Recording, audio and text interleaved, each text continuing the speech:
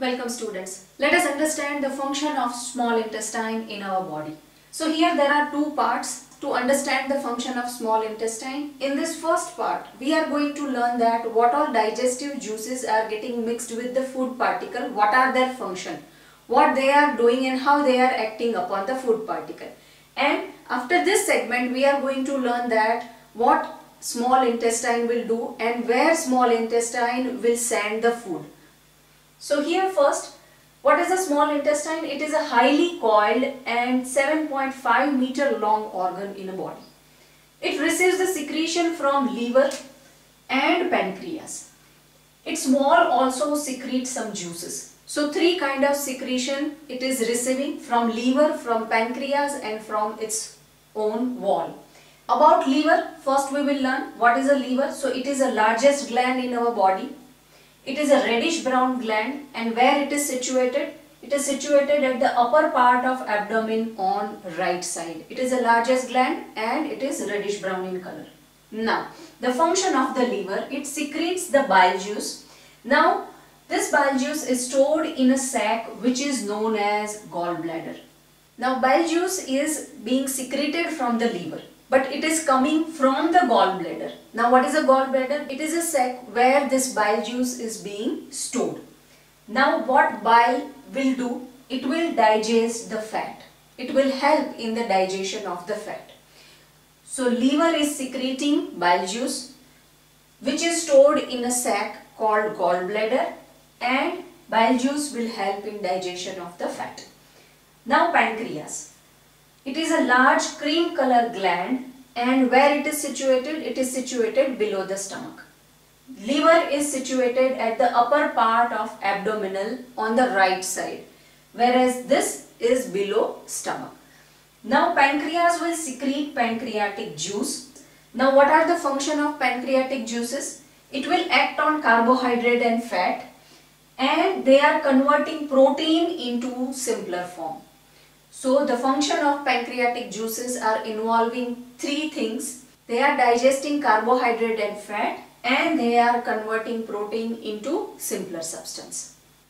Now when all digestive juices, liver juice and pancreatic juice will get mixed with the food particle, after that what will happen? The partly digested food will go to the lower part of small intestine where intestinal juices will complete the digestion. After that process, this process will happen and the intestinal juices will act upon them which will complete the process.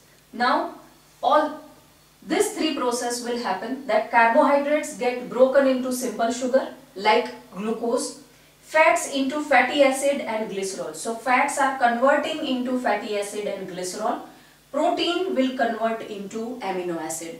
Now, in small intestine, one of the most important process will happen and that is absorption. Once all this food will get digested with the help of intestinal juices, the absorption process will start. Now let us learn that how small intestine will absorb this food and where this absorbed food particles will go. Now how the absorption happens in small intestine. So what is the absorption first of all? Digested food can pass into blood vessel into the wall of intestine and that is known as absorption in small intestine. Whatever digested food will be there will get absorbed into the lining of the small intestine. That is absorption. Inner wall has finger-like outgrowth and it is termed as villi. This villi is the structure who will absorb the food or digested food.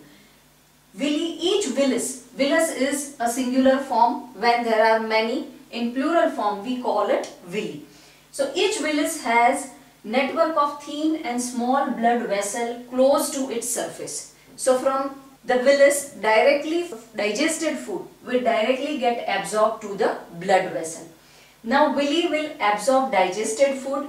It will transported via blood vessel to organ. So this is a path of digested food that once the food will get digested into small intestine, it will get absorbed by the villi and from there it will get transported via blood vessel to organ.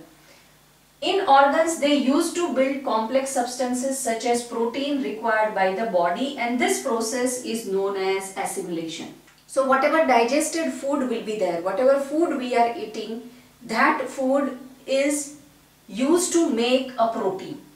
So it will get digested in small intestine via villi then it will get transported via blood vessel to the organ and in organ the cell will manufacture the protein in organ they will build complex substance like a protein. So this process is known as assimilation.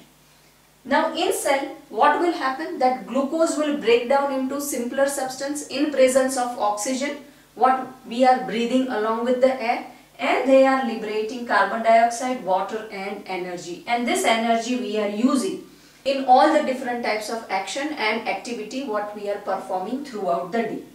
Now whatever unabsorbed food will be there that will pass to the large intestine.